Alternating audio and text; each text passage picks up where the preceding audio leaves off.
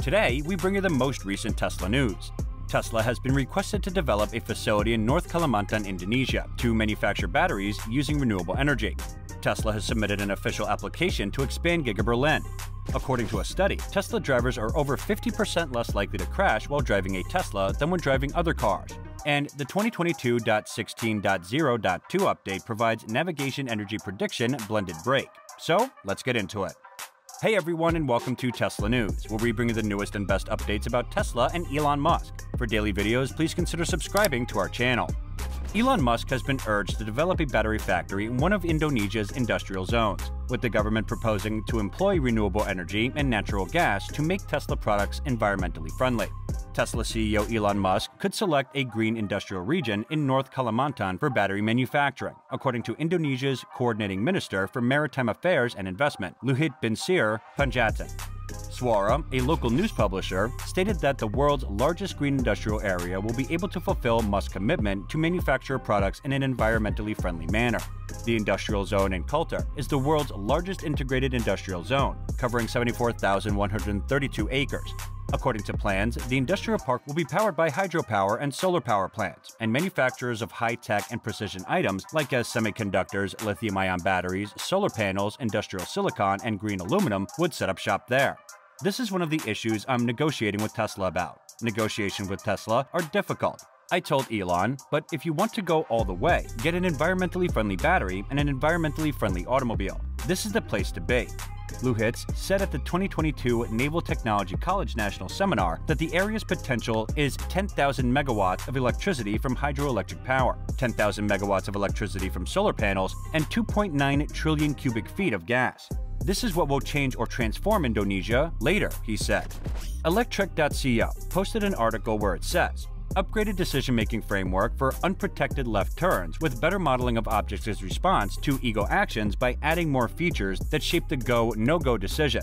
This increases robustness to noisy measurements while being more sticky to decisions within a safety margin. The framework also leverages median safe regions when necessary to maneuver across large turns and accelerate harder through maneuvers when required to safely exit the intersection. It also talked about the other features including improved recall of motorcycles, reduced velocity error of close-by pedestrian and bicyclists, a reduced heading error of pedestrians by adding new SIM and auto-labeled data to the training set, Another is improved precision of the is parked attribute on vehicles by adding 41,000 clips to the training set, solved 48% of the failure cases captured by our telemetry of 10.11. The conditions of the industrial zone in Kaltara began in December of 2021, according to the minister. Indonesia's economic transformation starts here, where we will manage our natural resources from upstream to downstream to create massive job availability, said Indonesian President Joko Widodo during the construction launch event. The project for more area took about 5 to 6 years to develop, according to Luhut. This project will cost a total of $132 billion. He stated that there has been no official word from Tesla yet, but that we may expect an update shortly. Tesla has submitted an application to expand Giga Berlin. Tesla has taken the first step toward expanding Giga Berlin by submitting a formal application to local authorities to expand the facility on a 247-acre block of land adjacent to the present production. Mayor Arne Christiani, confirmed the application with the municipality of Grünheide, telling the German daily RBB24 that the development plan for the area in issue would first need to be amended to meet Tesla's goals for the property. A timely application to commence a B plan procedure in the near neighborhood of the current 300-acre B plan was received by the municipality of Grund. A city council committee would have to agree to change the plan, which specifies what can be developed on the 247-acre area, according to Christiani.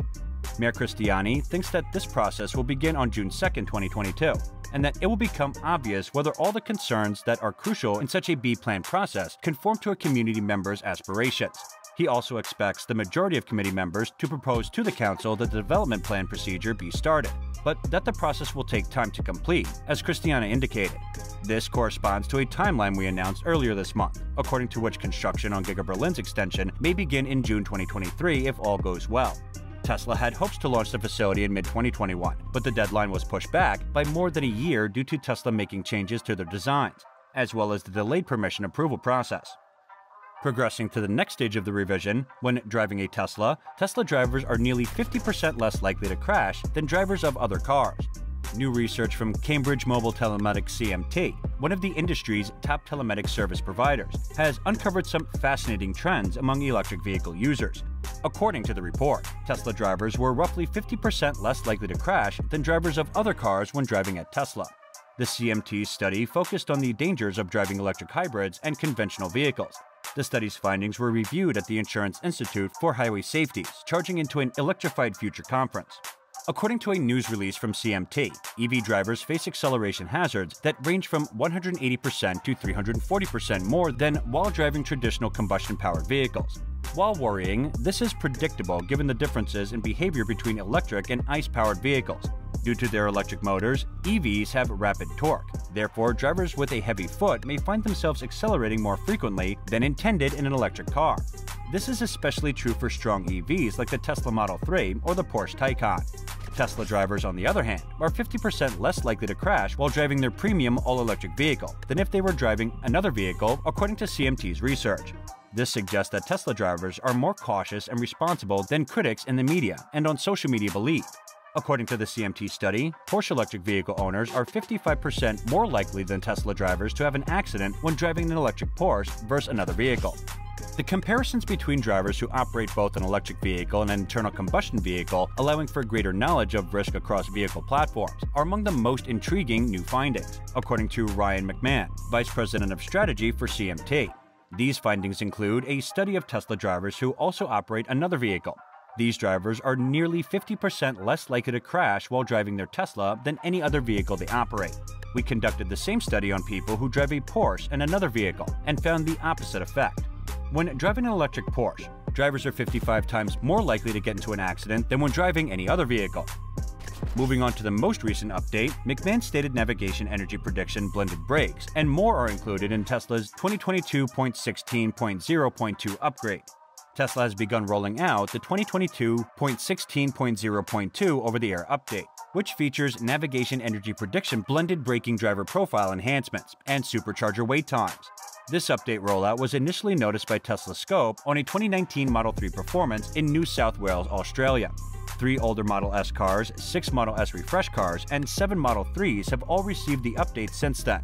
One of the new capabilities of this edition is navigation energy prediction, expected crosswind, headwind, humidity, and ambient temperature have been included to the energy prediction for your route. According to Tesla's release notes, this release also introduced blended brakes when utilizing online navigation. Blended brakes automatically activate standard brakes during regenerative braking for steady deceleration, according to Tesla hacker Green. He also mentioned that blended brakes are optional.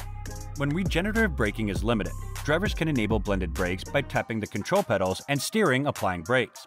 Tesla also updated driver profiles, allowing drivers to link their media player accounts, such as Spotify, to their driver profile.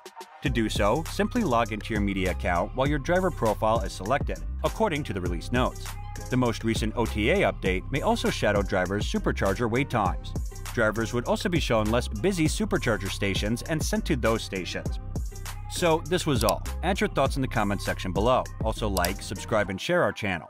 We will see you soon with our next video, so be with us. And if you like this video, be sure to check out our other videos. Thank you so much for watching.